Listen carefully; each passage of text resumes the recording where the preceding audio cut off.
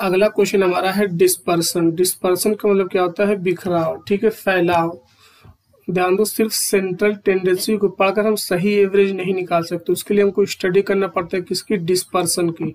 Dispersion का second नाम क्या होता है? स्कैटर या स्प्रेड या फिर वेरिएशन यानी चेंजिंग ये क्या मेजर करता है? Average of differences of various item from and average यानी जो आप एवरेज निकाल रहे हो, ठीक है?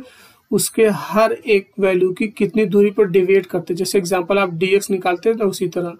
इसको हम लोग सेकंड ऑर्डर के नाम से भी जानते हैं। इसकी प्रॉपर्टीज़ क्या है? इजी टू अंडरस्टैंड है बेस्ड ऑन ऑल आइटम है not affected by extreme value यानी अचानक कोई वैल्यू बढ़ जाए या घट जाए।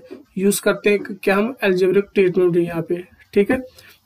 जैसे एग्ज़ाम्पल यहाँ पे ध्यान दो तो इसी पे एक दोहा बना होता कि कुंभा, नापा, जीव का त्यू आखिर कुंभा डूबा क्यों? जैसे एग्ज़ाम्पल अगर आपने सिर्फ़ एवरेज पढ़ा होगा, मान लो ये नदी की गहराई है, ठीक है?